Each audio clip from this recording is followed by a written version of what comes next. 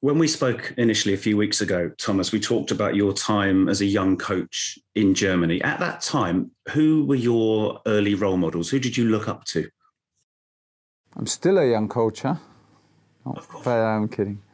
My role models in coaching.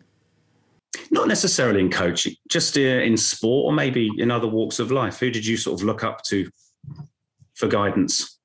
For guidance, well, first of all, there was my father who was my coach when I was a young player. Was my coach for many, many years, and and who coached me with all his passion that fathers coach their sons.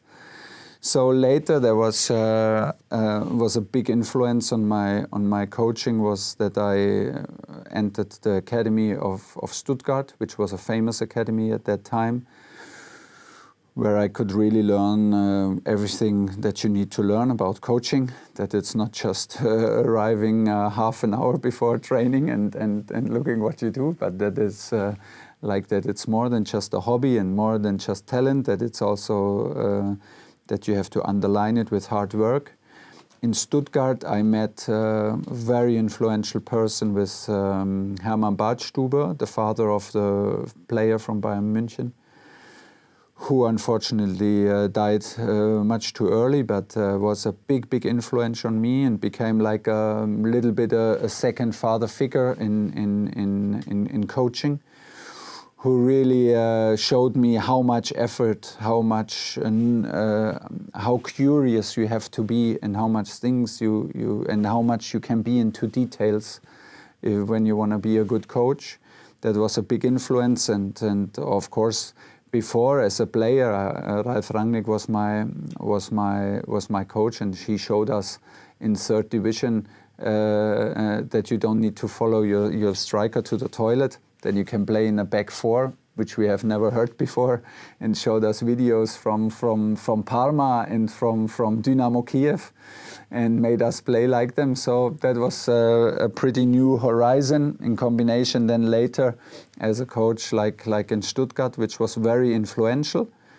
And then later I had uh, the chance to, to go to Mainz, also in the youth department, and, and uh, to meet the, the, the, head of the academy, which, who gave me who's still there, the head of the academy, who gave me all the freedom that I needed. I was so happy to be just in charge of an under 19 team for the first time. I earned completely my, my money just being only a coach. This was already a dream come true. And, uh, and the head of the academy, he gave me all the freedom to, to try all the stuff, to do errors, to, to, to invent new training methods, to, to do everything uh, the other way around in the next week and that was a, that was a big big uh, encouragement for me. And so we were very successful. And then uh, yeah people gave me the trust to to coach the first team. So you need always I'm very aware that you need in football always luck. So I'm a very lucky person and um, was always surrounded with with good people. And I'm very happy to to listen to to everybody who who works in leadership with people because you can learn from everybody and um, um, yeah this is the, the way it is. So hopefully I, I'm, I'm influenced by, by many many many more people than I now mentioned. But um, I'm very grateful for the way that my coaching career went and uh, for, for the people who helped me because I, there's no way I could have done this alone the love from my family, the love from my personal little family, and of course from my from my parents is, is, a, is, a, is a big combination always in life. And I'm very grateful that life is good to me.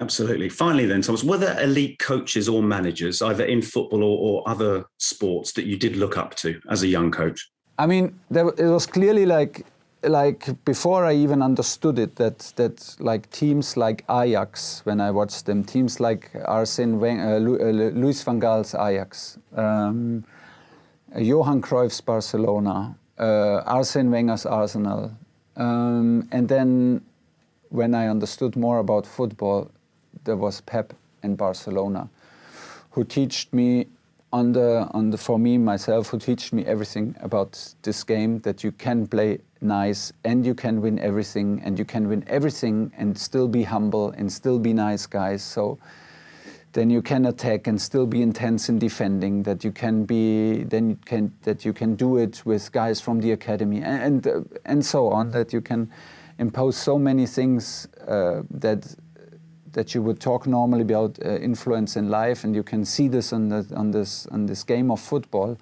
That was uh, eye opener, and I'm very very happy to to had the possi- to have the possibility to, to to play against Pep then with my teams and to be in contact with him and to listen to him and watch his teams play.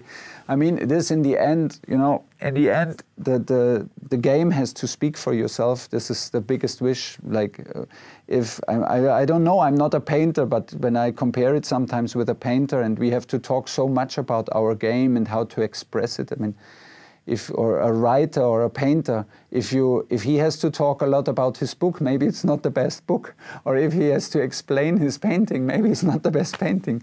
You know it should stand for itself. And sometimes me and I know that some other guys out there would wish that that just the game for itself stands for what we do and this is our expression. But of course like to bring it to an end Pep Pep was then later a big big big influence and, until until today I have the feeling that anytime I watch a game from him, I can learn something about about football, and I can learn something new, which makes it for me very, very curious and a big challenge to be now in the same league again and to compete again on this level. Like I said, I'm I'm grateful, and this is uh, this could go on forever and ever because this is a part of my personality. A big part of my personality is, is football and I'm, I'm curious and, and, and happy.